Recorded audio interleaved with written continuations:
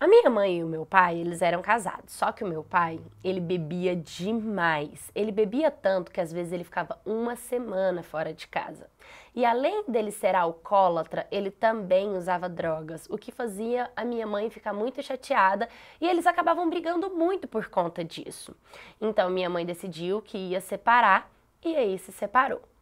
Então ela decidiu é, rachar o aluguel com o irmão dela, com meu tio porque aí ficaria mais fácil. E minha mãe ia trabalhar e além dela rachar o aluguel, ela também colocava tudo dentro de casa. E aí começa o meu pesadelo. O meu tio, ele começou a abusar de mim. Ele começou a aproveitar que a minha mãe não estava em casa e começou a fazer muitas coisas comigo.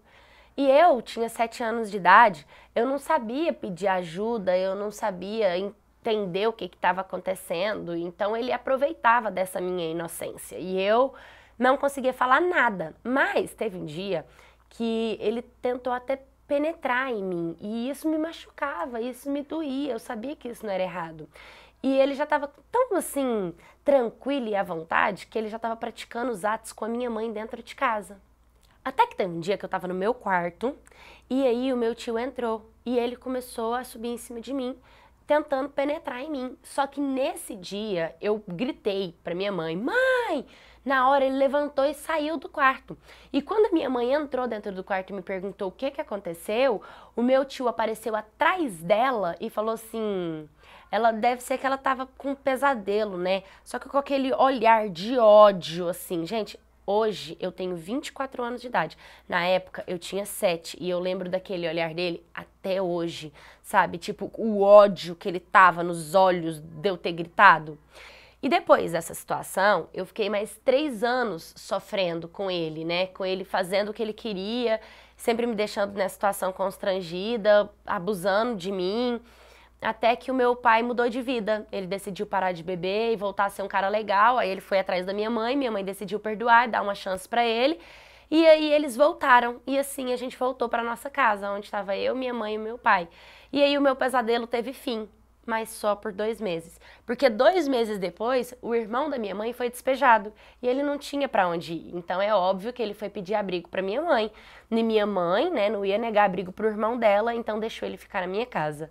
Quando ele voltou a ficar lá em casa, mora lá em casa, foi tão desesperador para mim, porque eu sabia que ia vir à tona todo aquele sofrimento, tudo aquilo que eu tinha vivido, não acreditava que, ele, que eu ia ter que sofrer dentro da minha própria casa, né?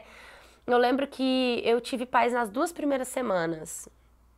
E aí, depois de duas semanas, ele voltou a querer abusar de mim, né? E nessa de querer abusar de mim, de aproveitar o mim, teve um dia que na hora que ele chegou pra, pra abusar de mim de verdade, eu gritei, tá fazendo sacanagem comigo! Na hora que eu gritei, tá fazendo, que meu pai veio, que, que pegou aquela cena, que viu tudo que estava acontecendo, eu contei para os meus pais o que, que, tinha acontecido, eu contei o que ele vinha fazendo comigo, eu chorei muito, eu sofri muito. Só que meu pai e minha mãe, eles perderam o chão junto comigo, eles choraram, sofri, sofreram. Meu pai e minha mãe sempre foram meus heróis. E claro que no mesmo momento eles decidiram que meu tio não ia continuar ali, então expulsaram o meu tio de casa, meu tio teve que sair. E ali eu acabei ficando muito abalada com a situação, mas com o acolhimento dos meus pais já foi um suporte muito importante para o meu amadurecimento psicológico. E aí, depois de um tempo, uma irmãzinha minha, que eu não contei para vocês que eu tinha uma irmã, né? Ela sempre foi criada pela minha avó né? Porque os meus pais não tinham condição. E ela veio passear na minha casa. E a gente foi pro quarto, eu fui contar para ela tudo que eu sofri durante esses quatro anos na mão do meu tio. E quando eu contei para ela, pasmem, ela também foi abusada por ele. E a gente correu e contamos para os nossos pais e eles choraram, ficaram muito tristes, pedindo perdão, se sentindo culpado por eles não terem é, dado outro tipo de suporte pra gente, por ter permitido acontecer isso, né, com a gente. Mas graças a Deus a gente conseguiu falar, conseguiu esse apoio.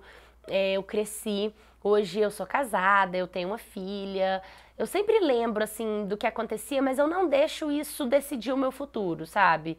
Eu perdoei, mas mas dentro de mim ainda sempre fica aquela coisa, né? Talvez a cura seja eu ensinar para minha filha o que não deve ser feito, como não deve ser feito, tudo aquilo que foi deixado de ser feito na minha infância por falta de entendimento dos meus pais, eu quero colocar na vida da minha filha para ela se sentir abraçada e amada.